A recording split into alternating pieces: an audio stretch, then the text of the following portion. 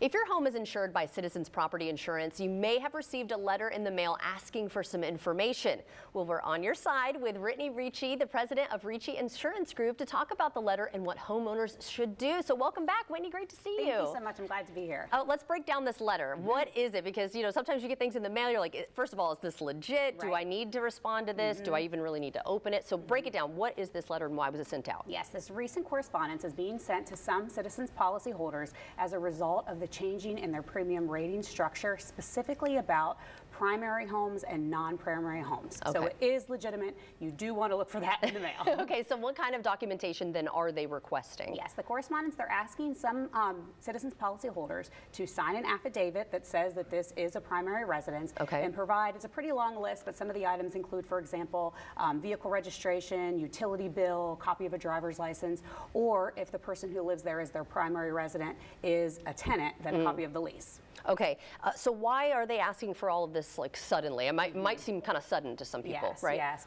So Citizens Property Insurance is the government program. It was designed to be the insurer of last resort when Florida homeowners have no other option for okay. their property insurance.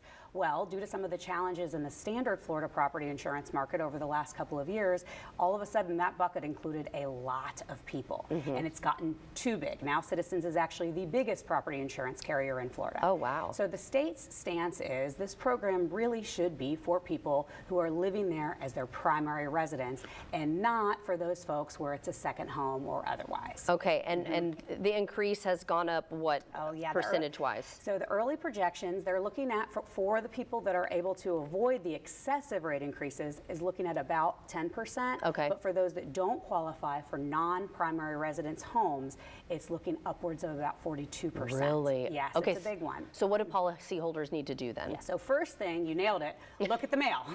look at the mail, get the letter. Don't throw it away. Don't throw it away. Reach out promptly to your insurance agent because if you do qualify under their definition of a primary residence, which is nine months or more out of the year, occupied by the homeowner or their tenant as their primary residence. Okay.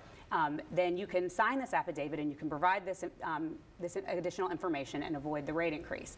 It's also a good time, whether it's a primary residence or not, as mm -hmm. we're mm-hmm. coming out of hurricane season, to communicate with your agent to see if there are maybe any other options in the standard market that you could consider at this time. Oh, okay. So mm -hmm. there mm-hmm. are options.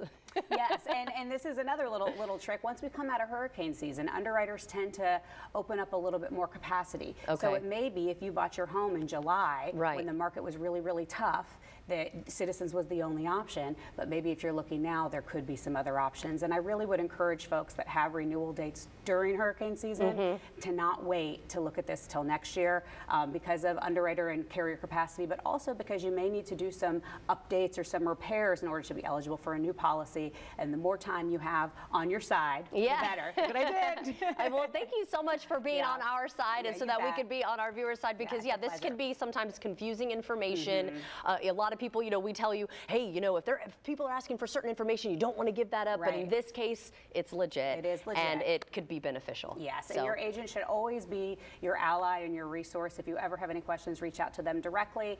Um, if for some reason you don't have an agent, my team would be glad to assist you. As All right, Whitney, thank you so much for helping us out with that today. And be sure to watch Home Connect TV on seven days a week with hundreds of homes for sale on the First Coast.